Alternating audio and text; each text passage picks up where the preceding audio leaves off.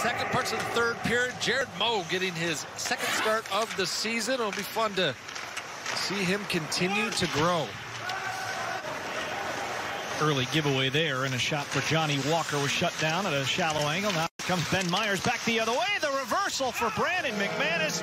And 56 seconds in, the Gophers have the lead, and McManus is on the board again. Those cycles and puck exchanges in the corner, they've been doing it right in the middle at the top of the ice. Brodzinski off the bench, but loses out to Johnny Walker, and he's got a breakaway here for Grando, trying to settle the puck off the bar and in, and Arizona State has its first goal of the weekend as Johnny Walker springs Chris Grando for his third of the season.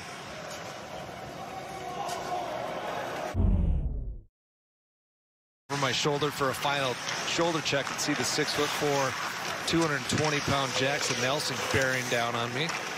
Brock Faber trying to keep the handle as he goes to work on Morocco. Now McLaughlin as the top line comes back out for the Gophers. McLaughlin works to the middle and scores. What a beauty from Blake McLaughlin. And it's 2-1 Minnesota. Ranta to the middle. Meyers had it hop his stick.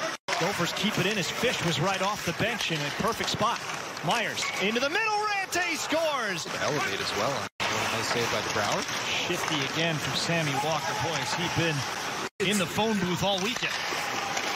Fish a long shot. It goes in.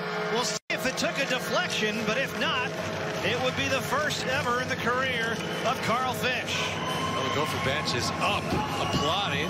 Detroit Red Wings prospect. And here's a chance in front, a beautiful goal.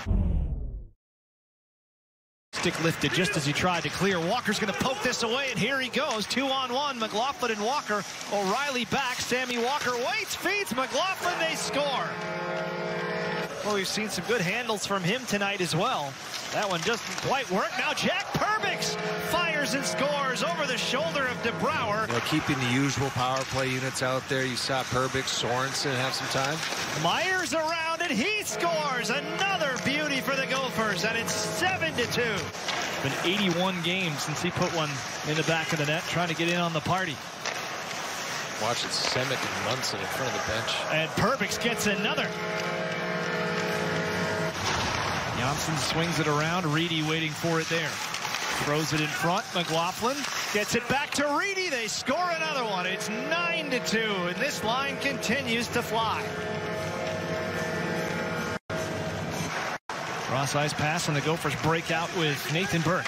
Drop pass for Brodzinski. A lot of chances for him tonight, and he pays one off, and there's number 10. Seconds remaining, and thus concludes an incredible weekend of Gopher hockey. Two games, 10 goals apiece. Ben Clymer, they haven't seen one like this in a while, and it might be a while before we see one like this again.